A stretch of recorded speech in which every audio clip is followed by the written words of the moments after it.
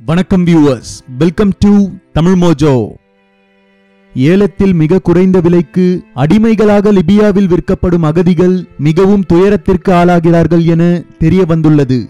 இதை பற்றின சில அதிர்ச்சி தரக்கூடிய தகவல்களை தான் இப்பொழுது தமிழ் மோஜோவில் நாம் காண இருக்கிறோம்.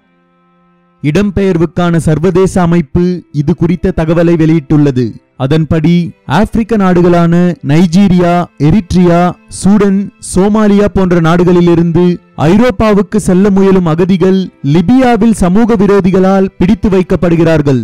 பின்னர் இந்த அகதிகள் 200 டாலரிலிருந்து ஐநூறு டாலர் வரையிலான விலைக்கு அடிமைகளாக ஏலத்தில் விற்கப்படுகிறார்கள். ஏலத்தில் விற்கப்படும் அகதிகள் கட்டிட வேலை விவசாயம் போன்ற பணிகளுக்கு அதிகம் பயன்படுத்தப்படுகிறார்கள். இதில் பலருக்கு ஊதியம் தரப்படாத நிலையில் வலுக்கட்டாயமாக வேலை செய்ய வைக்கப்படுகிறார்கள்.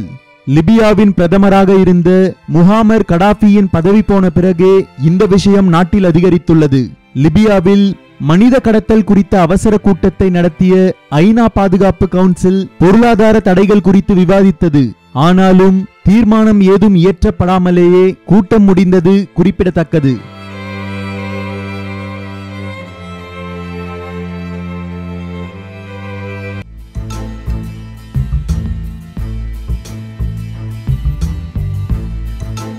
கூடுதல் வீடியோக்களுக்கு தமிழ் மோஜோவை சப்ஸ்கிரைப் பண்ணுங்க கூடவே ஃபேஸ்புக் பேஜ் லைக் பண்ணுங்க